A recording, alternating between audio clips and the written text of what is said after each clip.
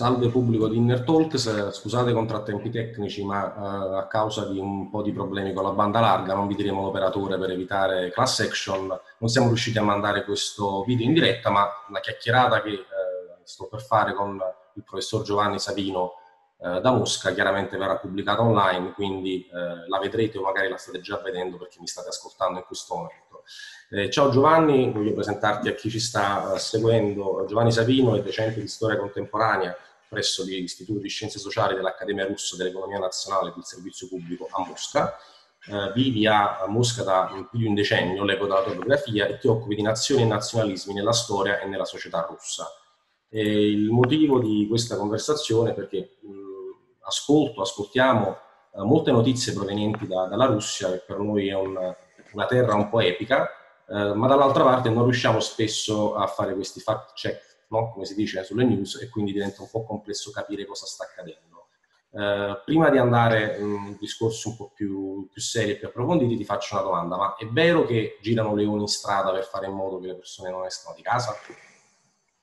Ciao Alfredo, innanzitutto volevo ringraziarti per l'opportunità perché comunque è sempre un piacere anche provare a raccontare quello che avviene qua e io quando ho ricevuto la prima foto dei leoni ho pensato perché proprio i leoni e non gli orsi? Generalmente nella Russia si dice che sono orsi, balalaiche e vodka, o alle, alle volte le tre immagini si uniscono insieme con l'orso che suona la balalaica e beve vodka, che sarebbe un animale comunque più consono a queste latitudini. Uh, no, non ci sono i leoni, Qualcuno ha avanzato anche sotto scherzo che probabilmente erano orsi travestiti da leoni, ma in realtà no.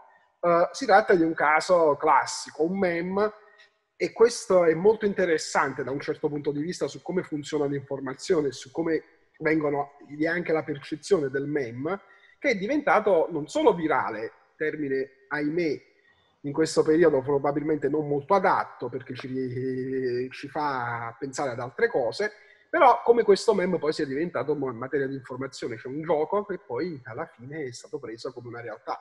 E i leoni dove si prende in un paese che comunque non ha latitudini africane. Ecco.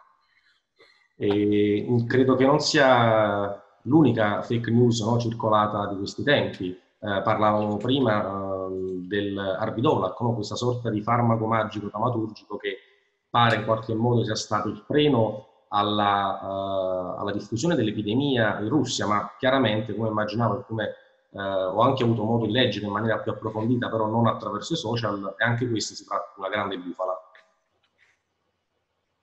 Sì, allora, uh, su questo è interessante vedere come mh, è nato il meccanismo. Ci sono stati due italiani, uno di questi mi è proprio piaciuto perché ha, nel suo profilo ha studiato presso l'Università della Strada, quindi come puoi immaginare eh, abbiamo pre- ben presente di quali soggetti che si tratta, che uh, uh, con la mascherina, con gli occhiali da sole, si precipitano a, pre- a procurarsi questo farmaco misterioso russo tenuto segreto e se lo procurano alla farmacia dell'aeroporto di Sheremetyevo, che è l'aeroporto più grande che c'è a Mosca. Un po' strano per essere un farmaco segreto. L'Arbidol è un farmaco che era stato già mh, utilizzato nella tarda età sovietica, ma non ha passato Arbidol, sì, o Abidol, uh, vi sono due denominazioni in commercio. E uh, non ha mai passato però i test, non solo dell'Agenzia Federale Americana, ma anche i test dell'OMS, cioè cons- e nemmeno i test delle agenzie federali russe. Viene considerato una sorta di, di Tamiflu, del, una cosa del genere, ma in realtà anche con minore efficacia. Essenzialmente l'Arbidol non cura niente, come ha detto una, una, mia amica medico russa un'altra che è una giornalista scientifica russa molto brava, Alexandra Barisova, tra l'altro vive in Italia, uh, è come se tu prendessi una pillola di gesso. Quindi essenzialmente il gesso, come sappiamo, non ha uh, proprietà curative. Però io credo che questo tipo di notizie uh, riescano a diffondersi per una semplice ragione, perché ancora oggi vi è l'idea eh, della frase attribuita a Churchill della Russia che è un mistero avvolto in un enigma e quindi eh, di questo tipo c'è sempre l'idea per cui, ecco, Uh, si, si, possono raccontare varie cose. È un approccio che ho definito in un mio post su Facebook orientalista. Perché orientalista? Perché uh, qualcuno l'ha criticato perché si ritiene che l'orientalismo sia soltanto a una dimensione, soltanto nella dimensione in cui viene sottovalutata la cultura di un paese, viene sostenuta, per, viene sostenuta come, è come inferiore o altro. Io credo, e non è una mia idea, non è nulla di originale, uh, di originale vi sono parecchi studiosi che nel corso degli anni 90 e 2000 hanno affrontato l'argomento, uh, ne posso citare giusto alcuni come Ivar Neumann, uh, che ha scritto un libro meraviglioso in inglese sull'immagine della, sull'immagine della Russia in Europa e sull'immagine dell'Oriente in Russia, David Schipelmanik van der Rohe che ha scritto dell'immagine dell'Oriente in Russia. In Italia c'è stato Aldo Ferrari che ha, ha svolto un lavoro pionieristico sull'orientalismo e la Russia. Uh, in realtà anche l'idea di un Oriente minaccioso, in questo caso l'Oriente e la Russia, di un Oriente comunque misterioso, comunque però considerato altro dall'Occidente, altro dall'Europa, ha sempre una certa presa sui mass media e secondo me in, alcun, in, un certo senso ce l'ha maggiormente ora rispetto a quella, che era, a quella che era l'epoca sovietica. Perché durante l'epoca sovietica comunque il socialismo ha una provenienza europea e comunque l'Unione Sovietica si rifaceva a dei valori che venivano comunque considerati parte della storia europea, nonostante vi fossero tentativi no? di dire che comunque il comunismo si era affermato in quei paesi perché erano paesi arretrati, asiatici e altre corbellerie del genere, oggi in realtà quello che ne vediamo è che vi è sempre un tentativo e su questo l'agenda combacia, combacia sia da parte di quelli che ritengono che la Russia sia davvero altra e non debba essere considerata come un paese europeo e basarsi sull'unicità di questo paese e quelli che la considerano in modo negativo come, qualcosa, come una landa barbara, da sempre preda di dittatori uh, di cose, e di altre cose del genere. Secondo me uh, la verità è molto più complessa, è molto più complessa e uh, oggettivamente questo tipo di visione che vi è sulla Russia permette la diffusione di false notizie. Mi permetto di aggiungerne un'altra. Abbiamo parlato dei leoni, abbiamo parlato dell'arbidol, credo che sia il caso di parlare anche dell'altra fake news circolata una decina di giorni fa di un discorso di Putin, il quale avrebbe eh, invitato l'Italia ad uscire dall'Unione Europea e a sostenerla. A parte questo discorso non è mai avvenuto, non vi sono è importante, nessun tipo... ma mi, mi, aggancio ad una domanda in maniera tale che provo a formulare un'unica domanda per la risposta se è anche vero in realtà che eh, c'è, diciamo, c'è, stata questa diffusione, che sia stata colpa degli italiani in qualche modo, no? della diffusione del virus anche, anche, in Russia. Sì, ci arrivo su questa cosa, finisco un attimo questa storia su Putin perché è interessante. In realtà Putin non ha mai richiesto all'Italia di uscire dall'Unione Europea e soprattutto è da pazzi pensare che la Russia possa sostenere economicamente l'Italia. La Russia in questo momento fronteggia una crisi che ha due fronti uno è quello che accadrà col coronavirus, che qui sta cominciando, i cui casi qui cominciano a crescere. Ma l'altro, che è, molto, che è molto più importante in questo momento, è la crisi scaturita dal crollo del prezzo del petrolio. La Russia è un paese esportatore di petrolio, basa gran parte della sua economia su petrolio e gas e lo scenario pessimistico che prevedeva il governo russo era il prezzo del barile tra i 40 e i 35 dollari. Oggi siamo a 24 dollari. Quindi io, che la Russia possa sostenere l'Italia fuori dall'Unione Europea, eh, tutto può essere a questo mondo, ma insomma è una possibilità pari allo 0,00001%. Riguardo a quelle che sono le fake news riguardo, eh, a proposito degli italiani diffusori del virus. Cosa è successo qui?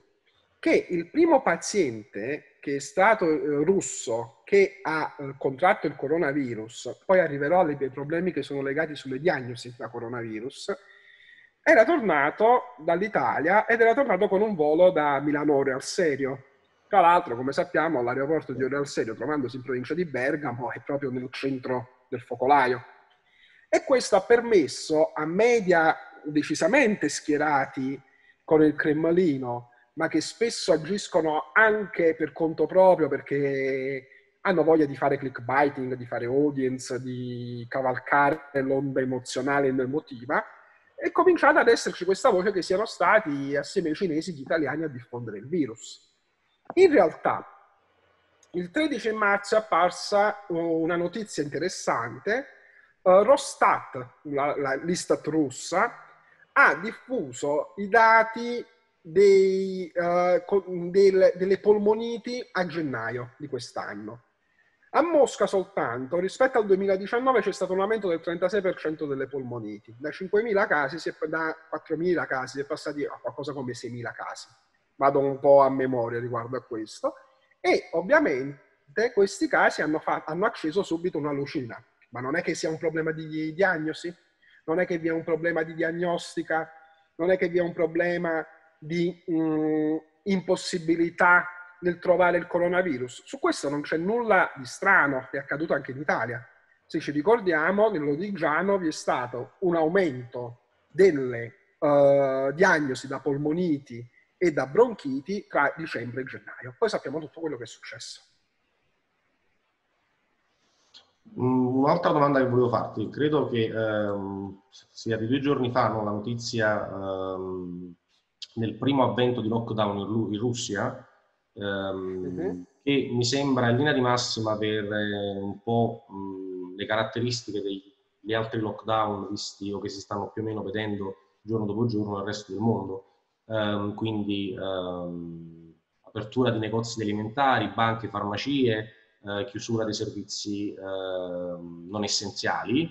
Uh, ma c'è un altro aspetto che invece volevo approfondire con te, che credo sia molto importante proprio alla luce del, eh, dell'enorme difficoltà sociale che sta avendo um, impatto appunto della, della, diffusione del Covid-19, del coronavirus sull'economia nazionale e mondiale.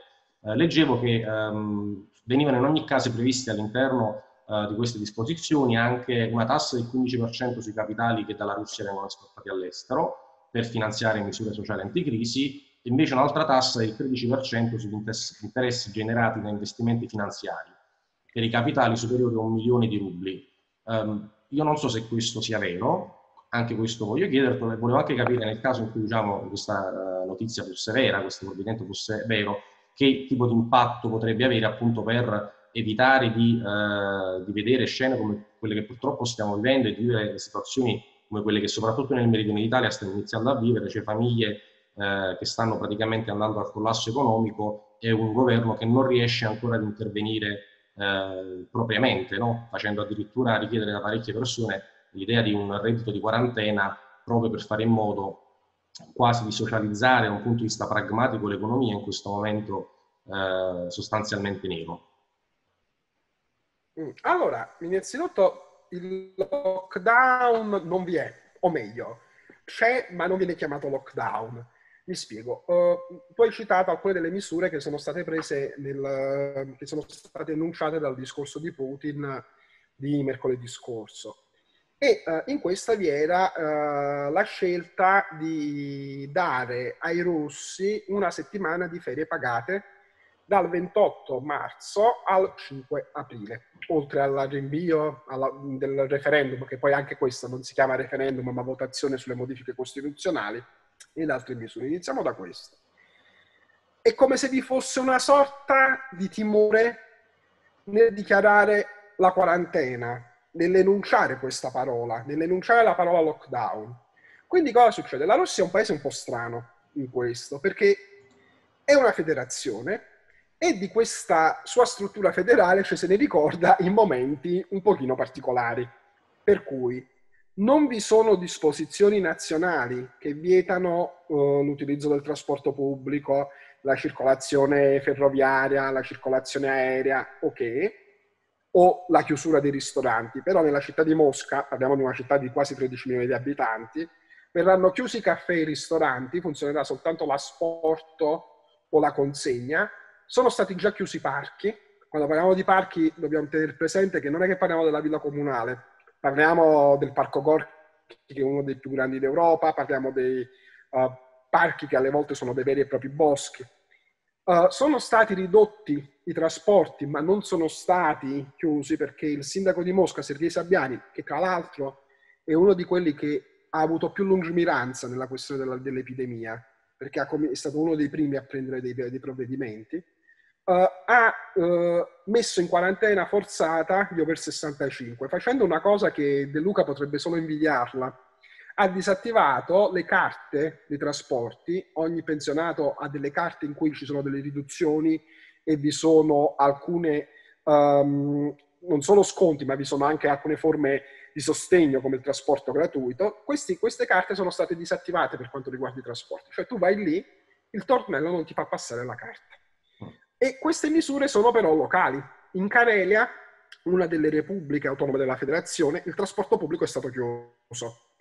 A Grozny, in Cecenia, controllano all'aeroporto se quella persona è residente o meno nella Repubblica. Se non è residente, viene rimandata indietro. E vi sono una serie di queste misure che, sono, che vengono adottate su tutto il territorio nazionale. Vi sono anche degli scontri, perché il governatore di San Pietroburgo aveva chiesto di chiudere uh, le chiese ortodosse. La Chiesa ortodossa russa ha reagito in, in malo modo, sostenendo che il governatore stesse infrangendo uh, i propri diritti, i diritti costituzionali dei fedeli. Quindi vi sono anche qui alcune uh, resistenze. Poi vi sono alcune azioni di quelle che sono le compagnie aeree, ad esempio le ferrovie russe hanno ridotto molti trasporti, hanno ridotto alcuni, molti collegamenti, la low cost Pabieda, che vola anche in Italia, ha interrotto tutti i collegamenti all'interno della Russia. Perché qual era mm, l'idea? Comunque, quando è stata proclamata questa settimana di vacanze, tutto il mondo è paese. Io non credo nell'esclusività dell'incoscienza di qualche migliaio di italiani. E secondo me sarebbe anche ora di smetterla un po' con questa idea per cui tutti sono colpevoli. Secondo me ci sono tante persone, ci sono milioni di persone che stanno a casa e che soffrono. Tu, ora ci arriverò a questa parte sociale che secondo me è molto importante. Uh, e quindi ci sarà la reazione da un lato di quelli che volevano andare in vacanza, volevano tornare a casa perché lavorano fuori, lontano dai propri cari, e dall'altra di quelle aziende che volevano fare in modo di far continuare la produzione provando a trovare cavilli. Quindi queste misure a livello locale si sono rese indispensabili. Riguardo alle misure sociali, vi sarà una tassazione del 13% sui capitali che superano il milione di, e- di rubli che sono eh, tenuti nelle banche e sarà una tassazione non sui capitali, mi, mi autocorreggo, ma sarà su quelle che sono le percentuali ricavate dai capitali, sugli interessi. Interessi uh, la politica di Putin. La poli- la poli- sì, sugli interessi generati, giusto.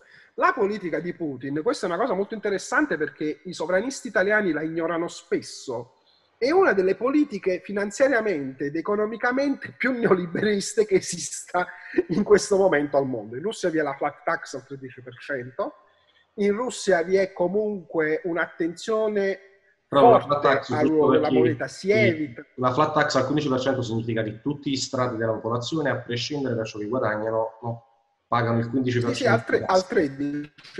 Sì, sì, sì, sì, sì. Io, guarda, io, io, pago il 13% come, il 13%. che ne so, sì, sì, come, come, come, chi, come i padroni di Rosneft e di Gazprom, insomma. Quindi più o meno la stessa tassa. Non vi è una progressività, vi è un controllo monetario molto forte, per cui non vi è, uh, non vi è la, l'idea no, che si dice in Italia spesso usciamo dall'euro, stampiamo moneta. La Russia non lo fa. La Russia non è che stampa moneta o che vi è un, comunque nelle misure di Putin che sembrano a prima vista comunque generose e che comunque sono state una novità rispetto a quella che la politica classica, è stato un passettino comunque in avanti, vi sono delle critiche. Uh, vi è un appello degli, di alcuni economisti che mi ha colpito molto perché non sono economisti di scuola keynesiana o marxista che chiedono il lockdown e sono paradossalmente più a sinistra della confin- dell'asso lombarda, perché capiscono oggettivamente il problema qual è, che vi è comunque un aumento dei contagi che può diventare esponenziale come in Italia, e chiedono che l'economia russa si fermi, che vi siano delle forme di sostegno forte da parte del governo. Uno di questi economisti, in un'intervista che ho letto uh, a Medusa, che è uno dei principali media uh, critici verso Putin, diceva più o meno così. Guardate che alla fine vi è il fondo uh, sovrano nazionale, che è il fondo che la Russia utilizza come cuscinetto in caso di crisi, che ha una bella sommetta e più, ora dico in napoletano, più nero della mezzanotte mo non può venire, cioè nel senso che siamo in un momento in cui oggettivamente, anche se la Russia potrebbe uscirne bene o meno, nel caso potesse uscirne bene o meno, comunque ti trovi con tutto il resto del mondo, Cina, Unione Europea, devastato dalla crisi economica. Quindi il ragionamento di questi economisti è utilizzare e incentivare comunque la, incentivare non solo il consumo ma anche il finanziamento della popolazione perché il problema che c'è nel meridione d'Italia con redditi che comunque restano nell'ombra o che sono dovuti al lavoro nero in parte vi è anche in Russia. Certo. E quindi questa situazione è necessario regolarla in qualche modo. E quindi eh, altri invece sostengono che Putin eh, avrebbe dovuto fare come Trump, che ha fatto un'iniezione comunque grande, sì, anche se da quello che ho letto, da quello che ho letto vi sono anche lì critiche forti su quanto avrebbe dovuto dare di più, però c'è un problema che l'economia russa non è l'economia americana quei soldi semplici, quelle, quelle capacità, quelle di, quella ampiezza di manovra che ha la Casa Bianca, il Cremlino non ce l'ha.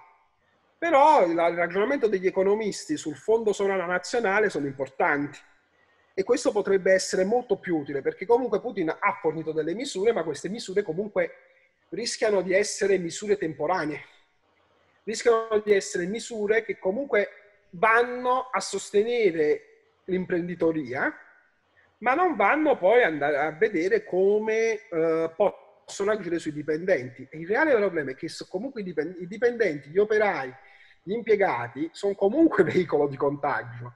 In metropolitana non ci va il riccone, ci va eh, la persona normale. La stessa identica critica che viene posta, uh, che è stata posta in realtà a Confindustria, che, diciamo, la, uh, che in qualche modo uh, si è quasi ribellata all'idea che alcune fabbriche che tra l'altro a titolo personale non considererei essenziale, ma non occupandomi diciamo, di governare il paese non mi permetto di mettere bocca. Ma sicuramente eh, quello che dici tu è un po', un po strano e forse anche difficile da comprendere come eh, sia vietato o in qualche modo viene fatta difficoltà l'idea di poter fare running per strada da soli senza nessun contatto alle 5 del mattino, ma poi ci si possa stipare in metropolitana e in metropolitana diciamo, non è che ci verrà il cuore, come dicevi tu. Quindi anche qui un po' sembra che tutto il mondo sia paese.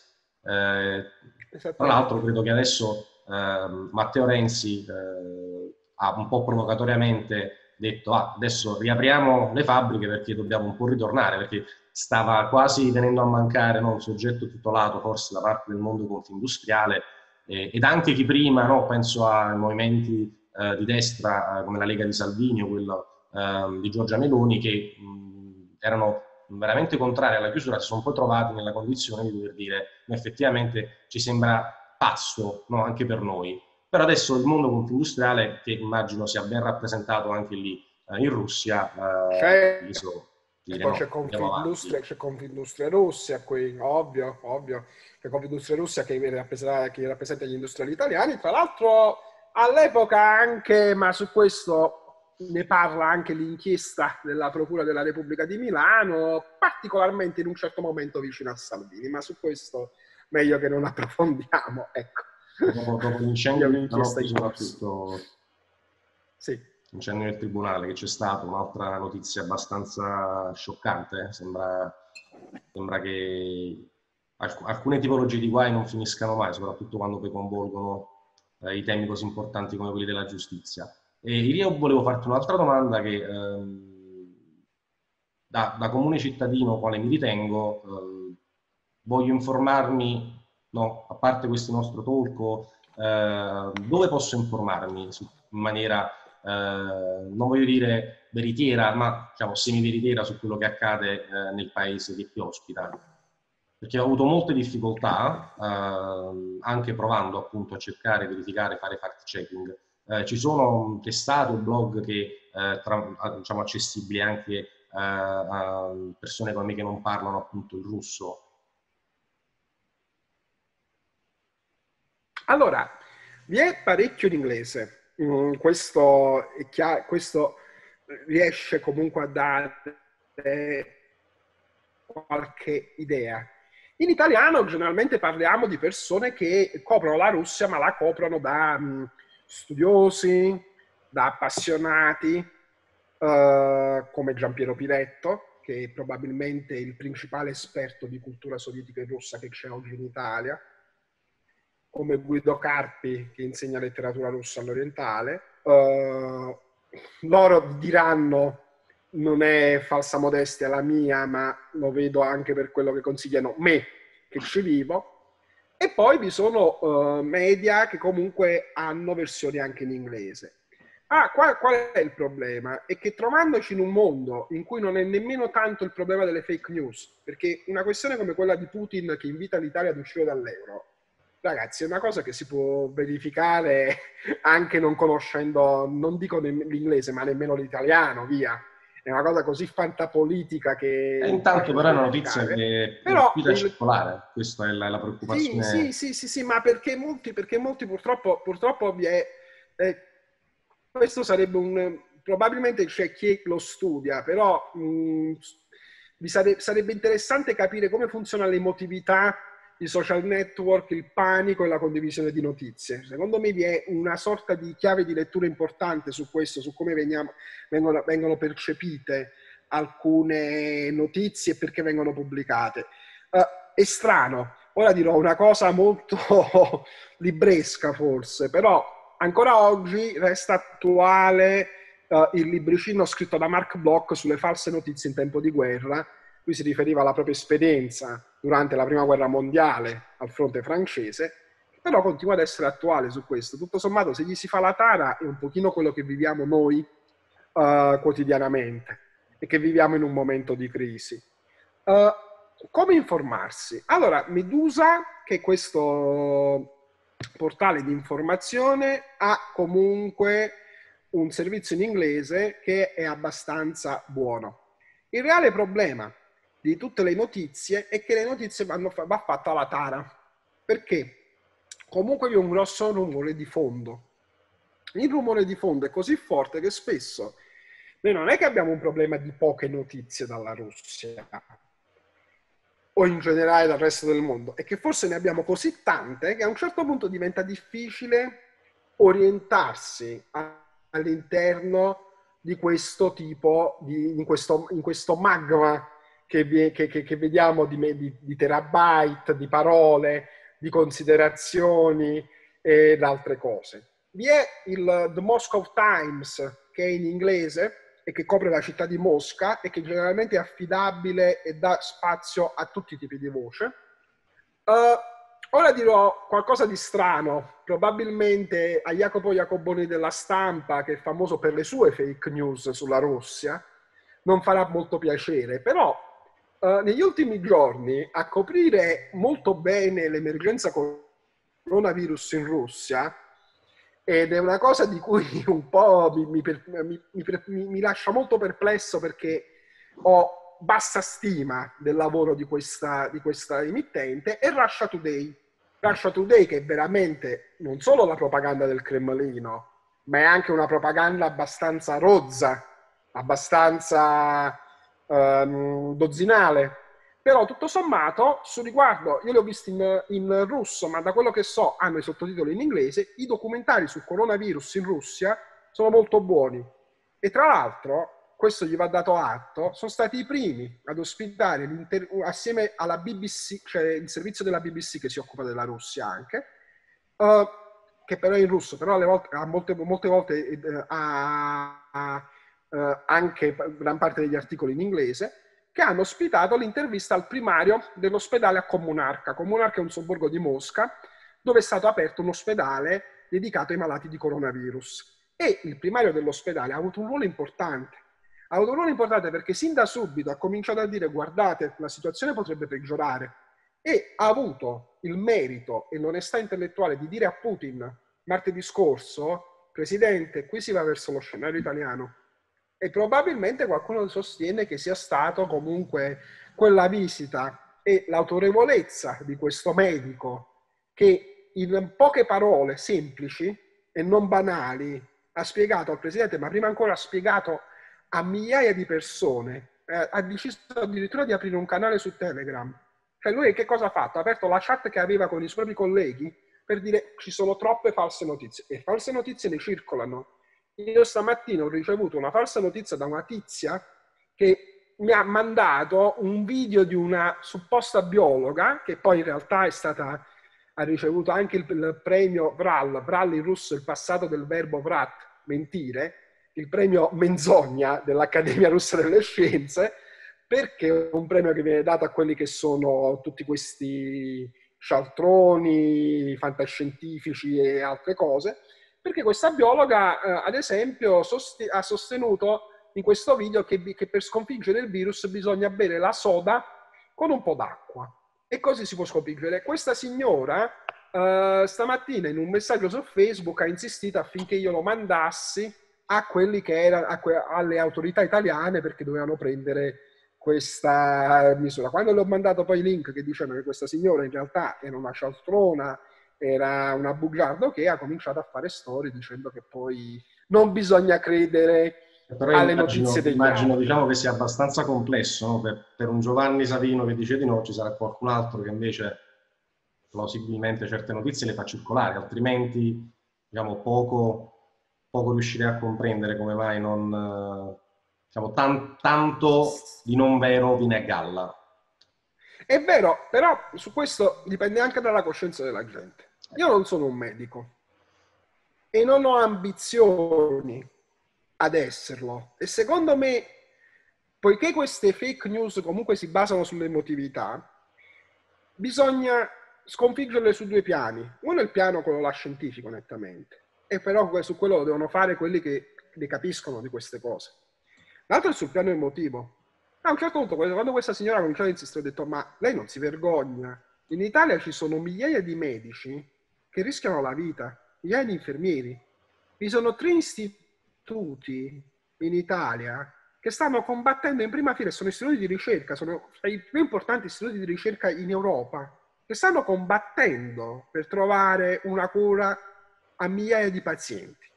Allora, visto che comunque loro fanno forza sull'emotività, purtroppo, purtroppo perché a me piacerebbe che ci fosse sempre una sorta di razionalità nelle discussioni che riguardano la cosa pubblica, purtroppo bisogna fare forza sull'emotività, bisogna farli vergognare, bisogna farli vergognare. Mm.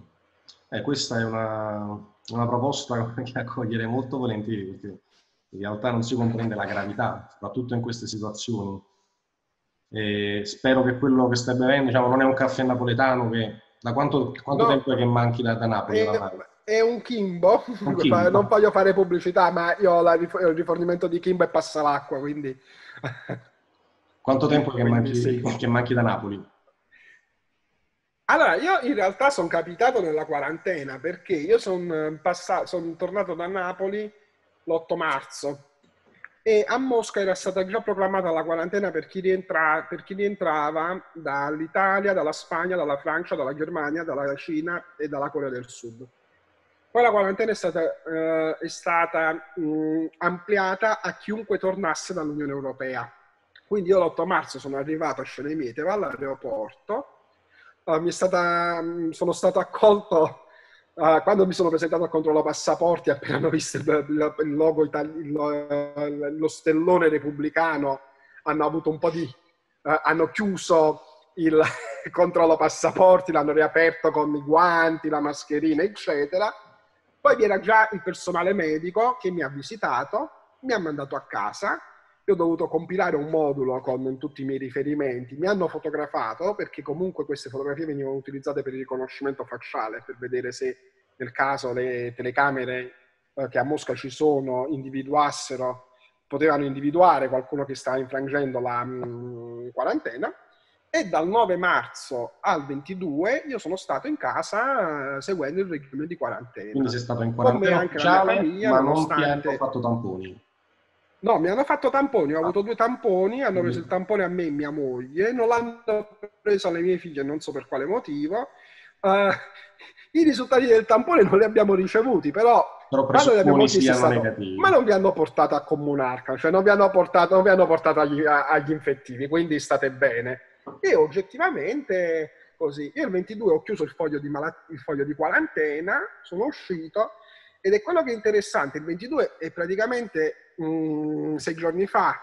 Sembra quasi passato un secolo, perché poi sono, dopo questo, sono, poiché la didattica universitaria e scolastica è passata tutto online, quindi io lavoro da casa, quando sono uscito domenica, e, mm, passando per, per, tutta questa macchinosa procedura burocratica che prevede la chiusura della quarantena, eh, sono rimasto colpito da quanta gente ci fosse in giro e senza mascherine. Già ieri, eh, che sono dovuto andare a, fa- a, sbrigare alcune altre commissioni burocratiche, eh, sono andato a comprare eh, da mangiare per i gatti e mi ha colpito che nel, in un negozio che di solito è, è, totalmente deserto, c'era la fila e c'erano comunque persone in mascherina. Anche io ho la mascherina, quindi così... Non sono aumentati i prezzi a Comincia a crescere la consapevolezza. I prezzi per ora non sono aumentati, ma potrebbe esserci questa cosa, anche perché è legato al prezzo del petrolio, certo. che scendendo comunque così. Comunque la Russia ha anche un problema, cioè Mosca tu le verdure le devi importare la frutta la devi importare, non è che hai uh, banane o pomodori che crescono tutto l'anno, poi le banane non crescono proprio, però i pomodori alle volte in estate ci sono, però, e quindi comunque devi importare, quindi ovviamente questo ha un costo. Uh, quello che è successo è già cominciato due settimane fa, poi si è ripetuto a scaglioni e ancora oggi ci sono degli scaffali vuoti in uh, non pochi supermercati, vi è comunque uh, una corsa ai beni di prima necessità. La carta igienica, che è il, il simbolo mondiale di questa crisi. Tranne che in Italia, uh, qui fortunatamente se ne trova ancora abbastanza. E, tipi di pasta, di, di, cereali a lunga conservazione, ok, anche qui si, si trovano poco. Mm. Bisogna stare attenti. Tra l'altro, a Mosca è molto sviluppato il servizio del delivery, anche a livello di spesa, e eh, già due settimane fa vi sono stati i primi problemi perché alcuni servizi hanno dovuto mettere un tetto, un tetto minimo di spesa per la consegna, si sono allungati i tempi. Vi erano servizi che consegnavano alle volte in un'ora. Uh, I tempi si sono allungati fino a otto ore, in alcuni casi di giorni, addirittura chi ordinava la domenica alle volte si vedeva il ricevere l'ordine il, il mercoledì o il giovedì. Quindi comunque anche qui vi sono stati casi del genere. E ve ne saranno. Tra l'altro, mascherine non se ne trovano in farmacia. Quindi pure su questo, però abbiamo una fiorente industria di maschere di questo tipo. Io questa l'ho presa perché era troppo divertente comunque con i peperoncini alla fine speriamo che facciano da corno. Quindi no, vedo, vedo che non hai, non hai, perso lo spirito dire, superstizioso della tua città quindi eh, è una cosa importante. Giovanni io eh, ti, ti, ringrazio innanzitutto per aver inaugurato questo ciclo di talk con eh, professionisti, docenti, cittadini, residenti all'estero che in qualche modo possono darci appunto una Ehm, una varietà di informazioni in loco, nella buona eh, linea del gonzo journalism che tanto purtroppo ci manca. E spero di risentirti eh, con notizie fresche, spero notizie positive, eh, ma in ogni caso appunto volevo ringraziarti e, e farti in bocca al lupo, sperando diciamo di poter fare che tu possa ritornare in visita a Napoli quanto prima crepi e uh, quello che volevo dire, volevo ringraziare te e volevo ringraziare tutti quelli che hanno dato vita ai progetti di subcava eh, sonora e di difesa d'autore per la possibilità. Chiunque voglia può sempre contattarmi sui social e ovviamente, chiaro, se mi chiedete quante tigri dell'amour sono restate in vita, probabilmente non vi so rispondere se me lo chiedete alle tre di notte di sicuro vi posso mandare a quel paese, però comunque provo sempre a rispondervi. Ecco. Va bene, grazie Giovanni. Grazie a voi, ciao.